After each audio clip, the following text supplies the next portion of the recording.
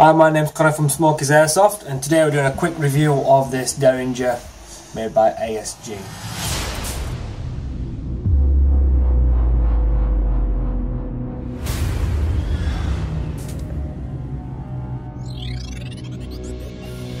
Now, um, it's two-stage barrel, so you get your safety catch here. To actually load the weapon, you need to pull it all the way around and then open this that way.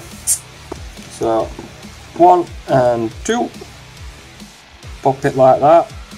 Click that down, safety to the bottom, and then you fill it up with gas. In the bottom. And it fires two shots one after other I believe.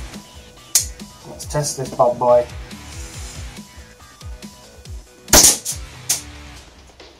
And then again as simple as that so uh, I'll just do a quick chrono uh, just so we know what it's kind of firing at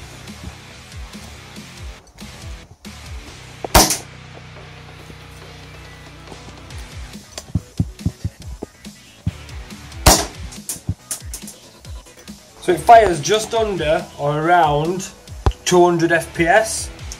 Uh, so it's not bad for a little like toffee poppet as you will call it, but we're selling these at Smokey's Airsoft for £45.